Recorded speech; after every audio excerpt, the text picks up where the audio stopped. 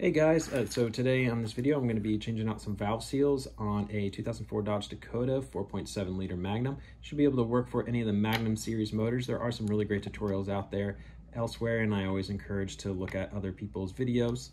So I'll be using these valve seals. I believe they're off of Mal. I got them from rockauto.com and I'll try to get a link in the description for you on those.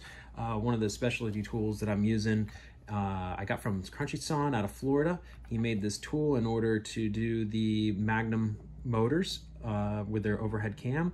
Uh, makes it so that you are able to use both of your hands at the same time to put in the valve spring retaining clips, which is awesome. A little shameful plug is this light here that you're gonna see me use when I take off the brake booster. Uh, I really like this light. Neiko gave it to me because I did some sort of spray gun review some time back, and I guess it's a little thank you. But I actually do enjoy this light. I will put a link in the description uh, for this light as well to an Amazon link, and I hope you enjoy this video. So some other things you might need is a 10 millimeter socket uh, to take off the plenum and the coil packs, a 13 millimeter socket for the alternator cable, and 15 millimeter socket medium to deep well for the brake booster, along with a 12 millimeter uh, 12 millimeter wrench in order to take off the brake lines, as well as an 11 millimeter wrench to take off the brake, uh, the battery leads, small pry bar, and a large screwdriver to put on the rocker arms, as well as a spark plug socket to take off the spark plugs. Leak down tester is what I used in order to, and a compressor to, in order to keep the valves up, uh, as you'll see later, and as well as a neodymium magnet to take the valve spring uh, retaining clips out, and some grease to hold the valve spring retaining clips in along with your valve spring compressing tool. I believe these are all the other things. If not, you'll probably see what else is needed. Also a 21 millimeter deep well socket, half inch drive to assist you in turning the motor over. So you may be able to get the cam in position to remove the rocker arms and that'll help getting all the rocker arms out will help make it easier for you to just apply compressed air and keep the valves up at that point.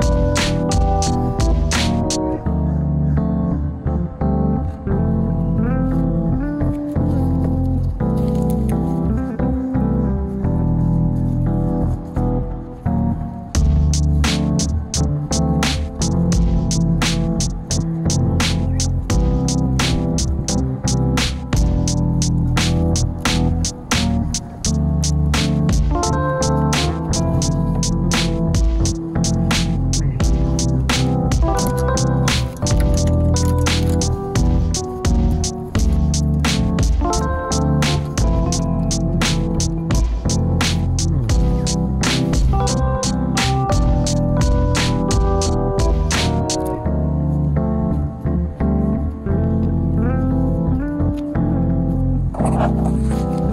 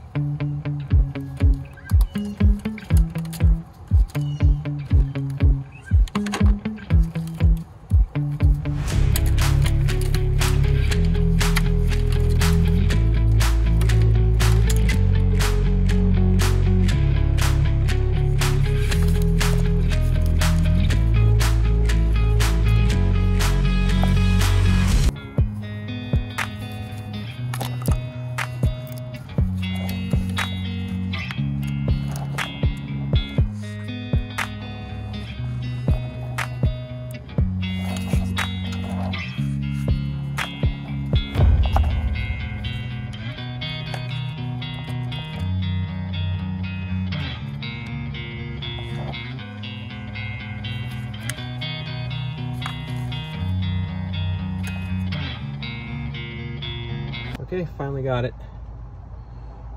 So I just ended up getting that last one, pulling it right off of there.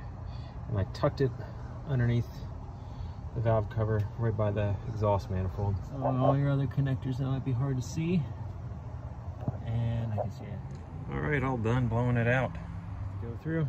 They look to be 10 millimeter maybe. I need a deep well because I have that one. Uh, it looks like there's one, two, three, four, five, six on the top. And down here, seven, eight, nine, 10, 11, 12, something like that. 12, 13 maybe. We'll see.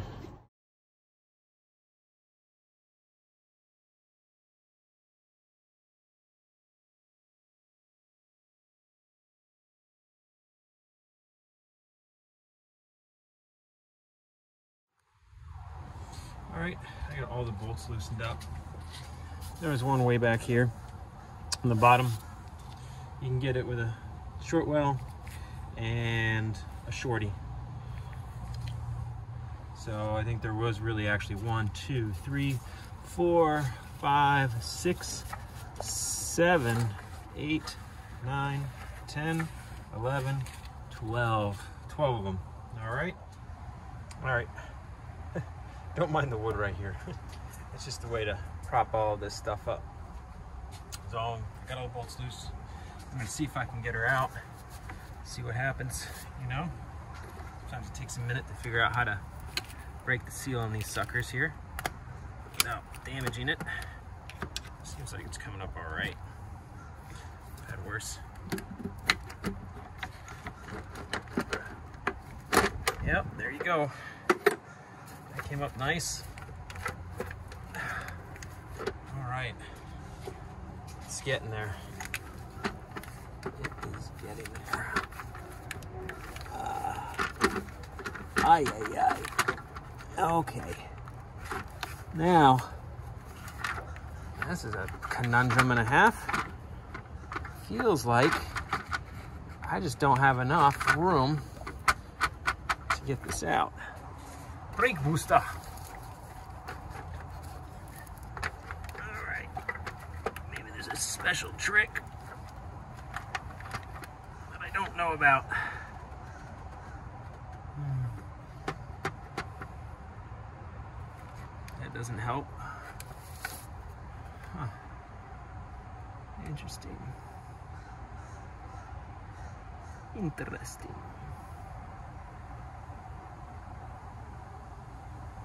Sucker's in my way. All right. I'm gonna think about it for a second, then I'll come back. Okay, so since that brake booster is kind of in my way, I'm gonna take a minute, but I'm gonna I'm gonna loosen up that brake booster from the inside. There's four bolts. I'll show them to you when I when I do it. Uh, that way I can just kind of push it on out of the way. I think I need just about an inch um, to clear. That inch will, should give it to me. So that way I don't have to buy O-rings and all that other crap and because I might as well replace all the O-rings if I take out the fuel rails and I'd have to also do this side too. Not that it would be too much and maybe I should just do it since I'm right here. Uh, but I think um, my first priority is to fix what's damaged versus trying to repair what's not broken. All right, I'll catch back. All right, guys. So you're being all this light is from that Neiko light. I know, shameful fucking plug, shameful plug, but whatever. So got four of these. All right, here, and you also have this little clip here that holds this on, which I will take off. Um, that way.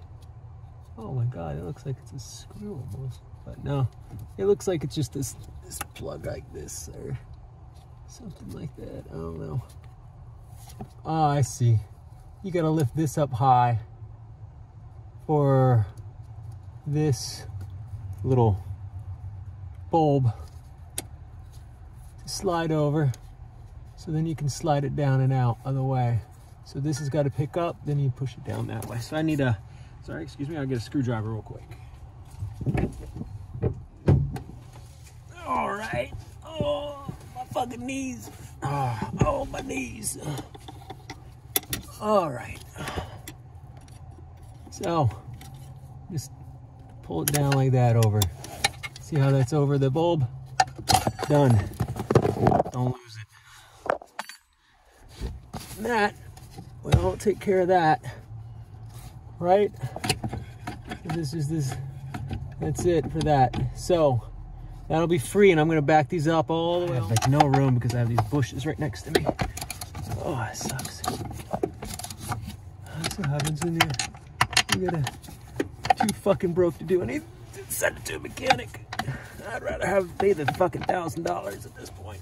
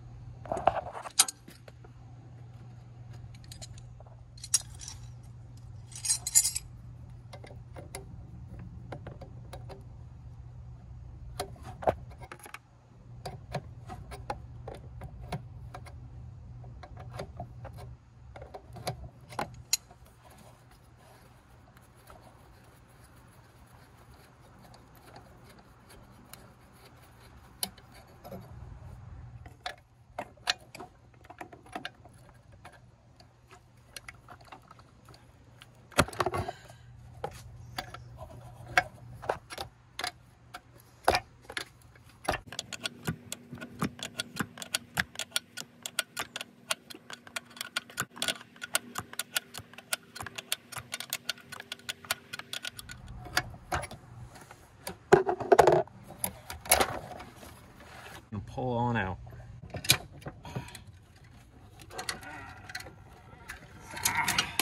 Oh, that's what it looks like get it out. Ay, ay. All right, I got these two things from, uh, uh, that might not work. Uh, oh, I think that might work. Ah, there we go. This was for me before trying to figure some other stuff out. So don't worry about that. Lobe's got to be up and just two things. Get some leverage, boom. And this sucker comes out. All right. This comes out just like that. To keep the valve up, I'm using this uh, cylinder differential pressure tester. Uh, these things are really specifically to do a leak down test, but I'm using this to keep the valve up. I'm keeping about 90 pounds of pressure on it and I'll be using on this side 90 pounds so I'll adjust until I get about 80 actually between 80 and 90 pounds okay yeah so now I have it threaded just threading it in there see that's snug and I'm just up here. And I just give it one little yank like that two and that should be good. You don't want to be way down there and get it all jacked in there. You just need enough for the the um the o-ring to seat and for pressure not to go by okay there we go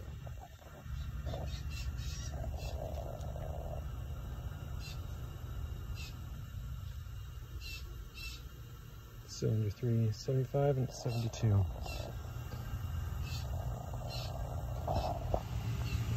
so I got the first and second one done down this bank and I'm on the third one right now so I'll tell you why that brake booster needed to go because you're going to need the room to do this stuff.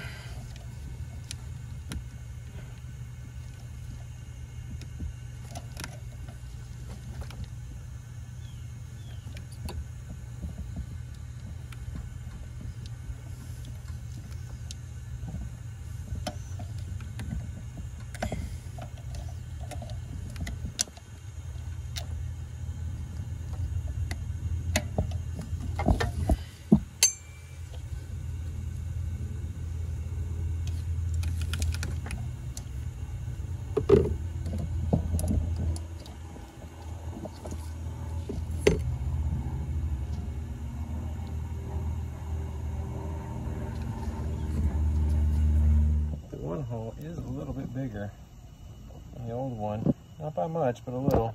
And it's really, really tough and hard. Well, this one is nice and soft. So I'm taking one of these and I'm just kind of dipping in some motor oil before I put it in. That way it's lubricated on the inside. Well, a little bit more. So it can, might blow a little bit of smoke when I first start it up, but know what? I feel like it needs that lubrication because there's a shaft or something in there. Down, down on yonder. Come on, focus up. That shaft, it's got to go over that, so maybe a little bit of uh, lube will help.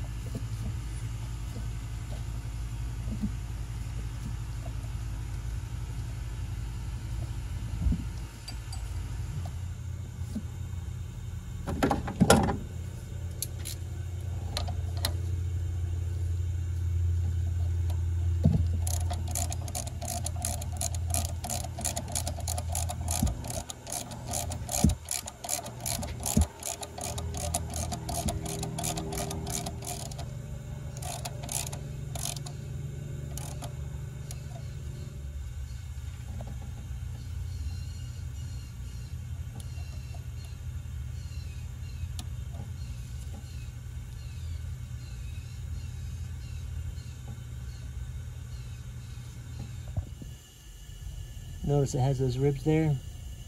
Also notice it has uh, a bevel.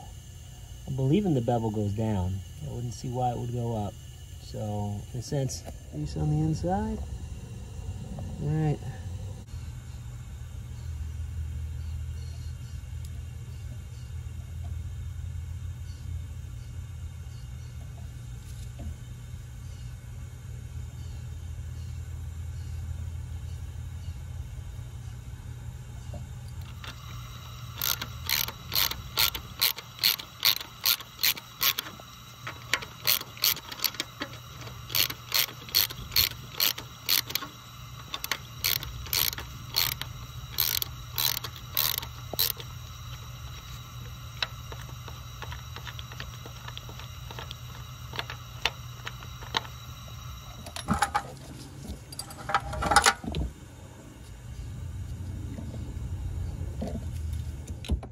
Now we're gonna put the rocker back in.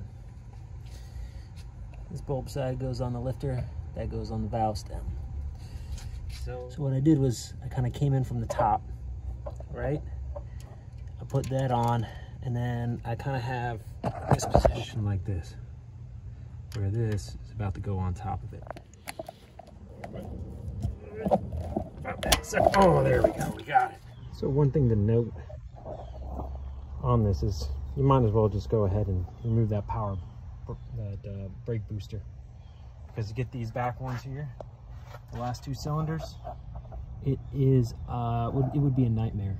it was very easy because I had all this other room down here to just have my hands to be able to get the, um, the valves down here out. Top ones wouldn't be so bad, the intakes, but the exhaust ones would have been terrible.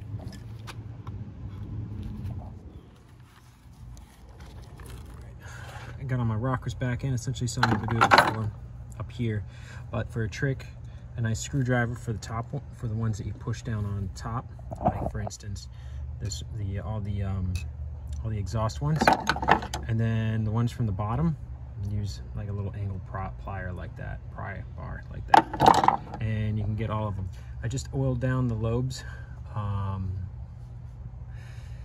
and I think I'm ready to put everything back. I cleaned up the edges, so and I have my new gasket over here on my valve cover. And so there we go.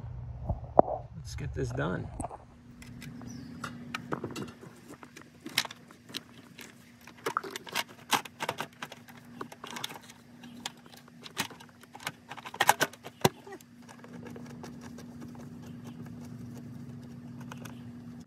Don't worry, I'm not torquing down,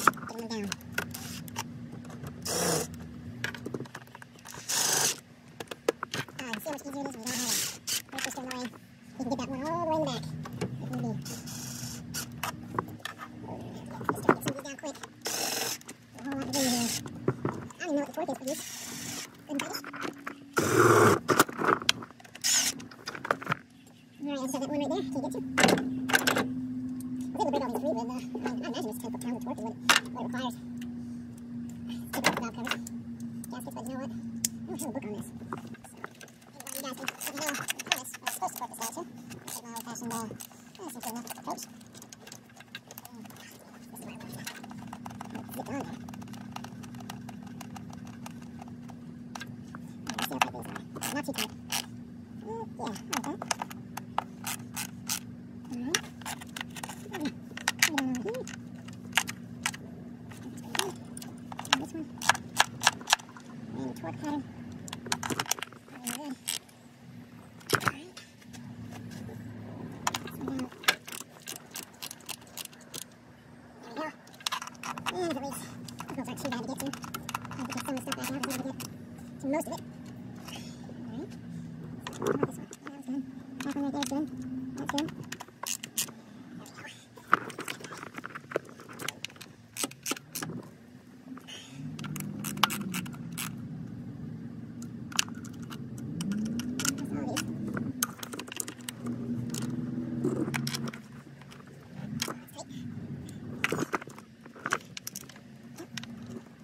ちゃんと。